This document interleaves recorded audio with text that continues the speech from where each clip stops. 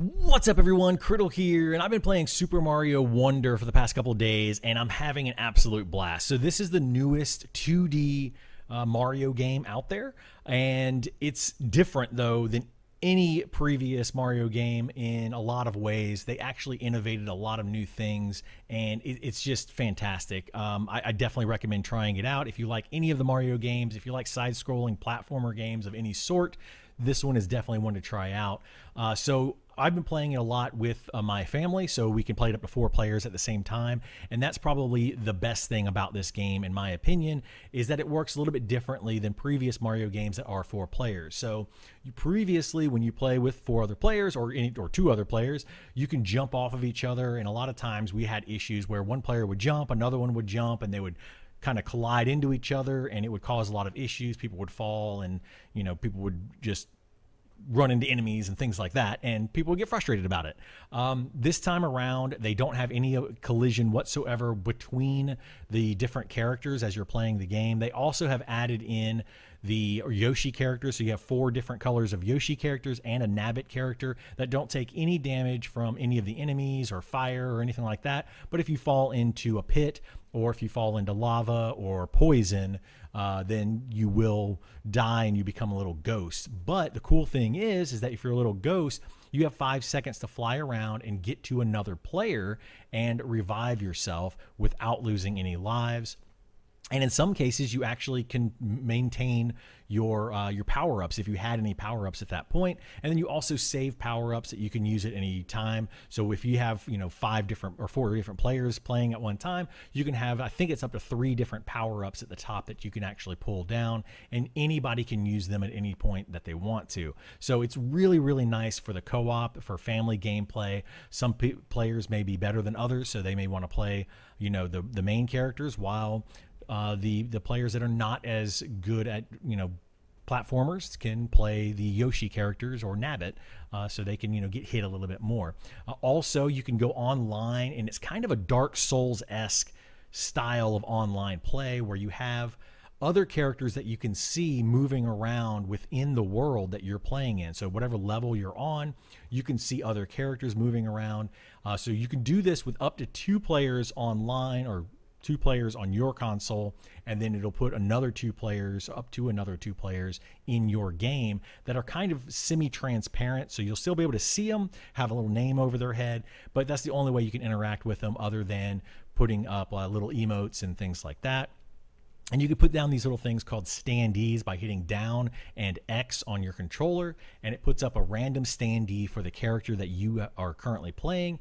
And if another player dies or something, they can go to that standee, and it acts as if they are getting near your character and reviving it. So you can actually help other players get through levels. You can also just watch the other players and see what they're doing and maybe learn from them and say, oh, they, there must be a secret over there because they're trying to jump through or over this wall or whatever. So it's a really cool aspect of the game that they've never had before in a Mario game. Um, other than that, some of the levels are very, very difficult. There are different uh, star difficulties, I guess. So you have a one star up to a four star difficulty, and some of those four star difficulty levels are actually pretty challenging. I went through a couple of them today to try to beat them. Uh, I also went through a couple of them with my son, and we were we were struggling. We were still able to get through them sometimes as a as a family, and sometimes I had to do them individually. Um, but it's really nice to see that Mario challenge. I really like that they're getting away from just the standard, you know, move from left to right with a timer on the screen. That's another thing I really love about this game is most levels do not have a timer. You can take as much time as you want to go through the levels, look for secrets, uh, that kind of thing, and it's fantastic. So when you're going through a level, uh, just take your time, enjoy it, and you might come up with something like uh, these flowers, these wonder flowers, which will change the entire level in a, some dynamic way. It could cause, you know, you to fall from the sky. It could cause it to to be a top down uh, 2D game, kind of like a, a, Zelda style game, like the original Legend of Zelda. Um, you could have bulls or dinosaurs or whatever kite running across the screen and you have to jump on their backs. And, and even in some of these cases they bust down the flag at the end of the level and they take you beyond the end of the level into this secret area which is really neat to see uh, and a lot of fun to play. If you finish a level and you don't get everything mario you know has a little question mark over his head and he's looking around like hey level cleared? Maybe. I don't know. Um, and it kind of hints to you hey you didn't find everything you could possibly find in this level so you might want to go back. So each level has uh, anywhere from like one to three of these wonder flowers or wonder seeds that you can get. So each level i think has a wonder flower in it and then that is one of the wonder seeds. Getting to the end is a wonder seed and then there's sometimes other secret wonder seeds that you can find throughout the levels.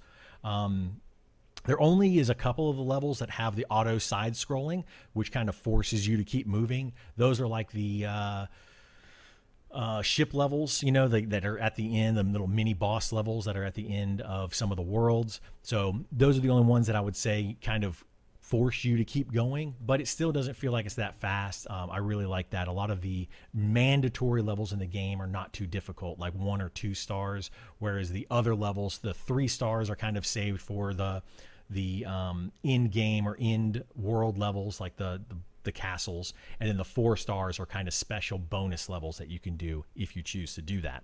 So anyway that is my thoughts on mario wonder. Absolutely fantastic game. I'm loving it um, other another system that I didn't speak of yet was the badge system. It's very neat. You unlock different badges as you go through the game, and those give you special power ups that you get through just that level. One thing I don't like about that is that when you're playing multiplayer, uh, you can still only choose one badge that all four characters or up to all four characters can use.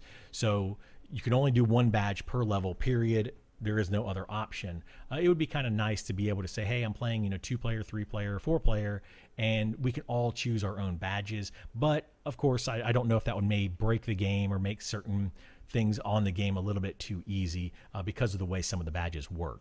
So anyway, that's just uh, probably my only complaint so far. Uh, but I'm having an absolute blast with it. My kids are loving it.